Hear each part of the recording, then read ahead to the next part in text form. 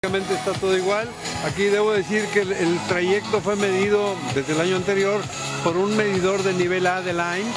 Este es el máximo nivel que hay de certificación y eso nos da el crédito tanto para que si se rompe un récord nacional, que en nuestro caso sería un récord latinoamericano, como para quienes califiquen para el maratón de Boston, todo tiene absoluta validez.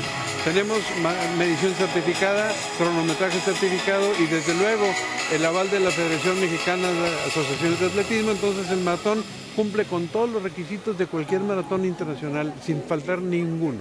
¿Quiénes han eh, ya confirmado de los corredores eh, elite que incluso pudieran pensarse de- eh, irían por el, el récord? Sí, bueno, eh, te- tenemos cuatro ganadores anteriores del maratón en la varonil, una ganadora en la femenil. Eh, es un poquito difícil especular, está desde luego el imperdible Hillary Quimayo que nunca va a fallar aquí. Eh, yo hablé con él la semana pasada y me dice que se ha estado reservando. Últimamente había corrido muchos maratones, se ha estado reservando porque le atrajo mucho la bolsa. Aquí quiero señalar algo que comentaba antes.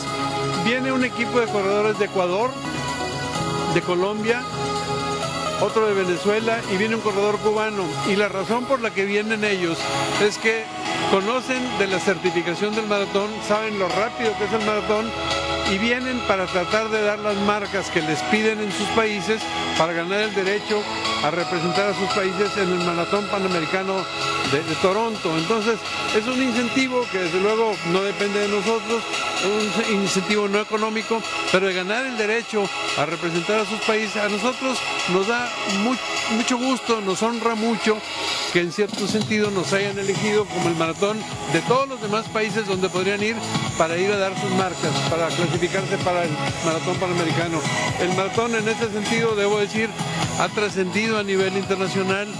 Desde que Hillary Quimayo corrió aquel 208-17 en el 2011, desde que nos vinieron a entrevistar desde Argentina, desde que el documental se manejó en toda América Latina, el maratón se posicionó sin duda es el maratón más rápido de América Latina y por esa razón tenemos esta, esta solicitud de estos corredores. Muchas gracias. Gracias. Por ahí, gracias. corredores laguneros que podemos esperar de ellos. Bueno, este, no tengo los nombres, pero lo que sí sé es que tenemos 1.543 corredores laguneros. Eh, el año pasado fueron como 1.100 o 1.150. La participación de corredores laguneros es muy alta. No tengo conmigo la lista, pero sí, desde luego, pues va a estar una gran mayoría. Este es un récord. Nunca habíamos tenido tantos corredores laguneros como este año. Eh, sin duda, un elemento a seguir es un lagunero dotado, ¿no? Es eh, el neoyorquino. Sí, cómo no. Él, él está inscrito entre los corredores elite, sí. Él hizo muy una muy buena marca el año pasado.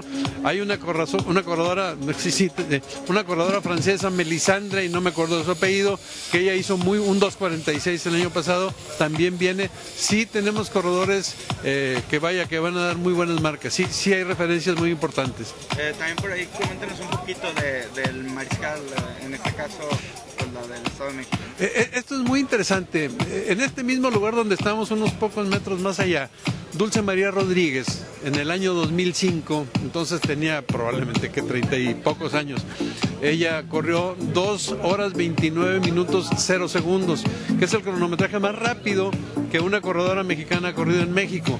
Solo hay, solo hay una marca más rápida, cuatro segundos más rápida, el maratón de Mazatlán, Dorota Gruca, una polaca, pero corredoras mexicanas corriendo en México, nadie ha corrido más rápido que ella. Eh, eh, ella empezó a correr a los 26 o 27 años, no empezó a correr joven. Entonces eh, hizo muy buenas marcas, como digo, corrió aquí ese 2.28, 2.29.00. Eh, ella ha corrido 12 maratones en total.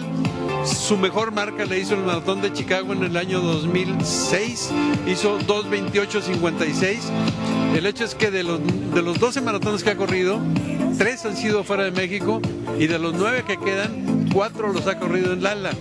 Dos veces ha sido segunda, dos veces lo ha ganado. Para nosotros es un gusto enorme reconocer a Dulce María Rodríguez porque es de las atletas conscientes que con su participación ellas vienen a ayudar y apoyar a que crezca el maratonismo mexicano. Nos da mucho gusto y yo comentaba hace un momento que a la hora que le participamos que iba a recibir este reconocimiento, ella reaccionó muy emotiva, muy emotiva y al mismo tiempo nos pidió que le inscribiéramos.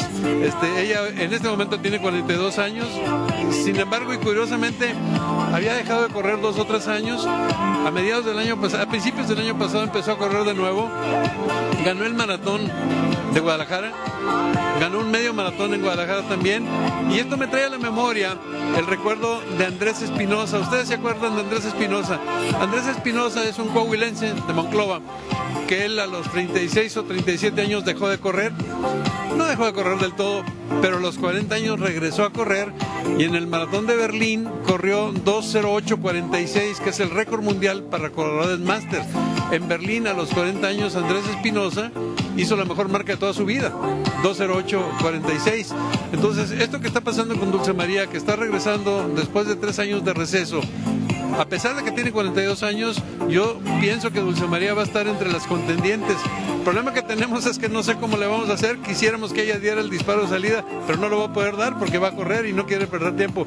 Pero es un gusto muy grande para nosotros tener a Dulce María Rodríguez en este maratón en esta ocasión. Gracias,